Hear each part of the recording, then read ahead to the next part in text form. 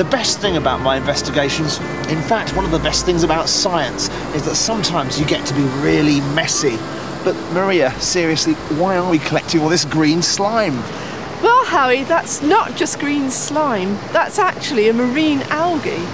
And it's made up of loads of little cells.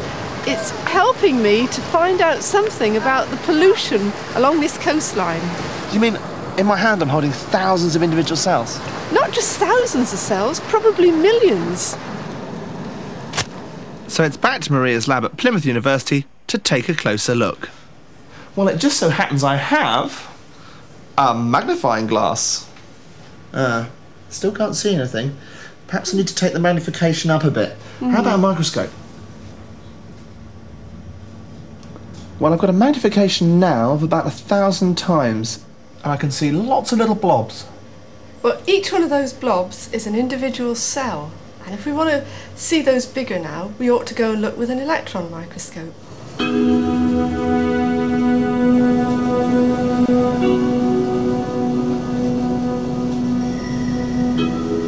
In this picture here, you can see the sheet of cells of the algae.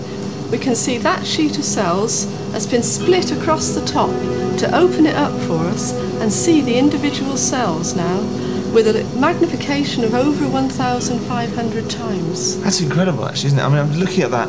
That means that ooh, about there to there is going to be the equivalent of a pinhead. That's right, yeah, it's incredible, isn't it? Really Can we, can we go any Yeah. tighter? Yeah, we can get even bigger here. Okay, now we've got the cell here magnified over 13,000 times.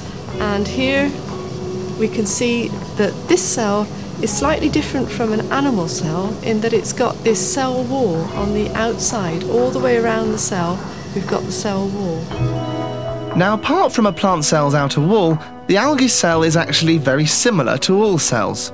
There's the protective membrane around the cell, the nucleus, which acts like the nerve centre controlling everything that goes on in the cell, and the cytoplasm, where chemicals and food are made.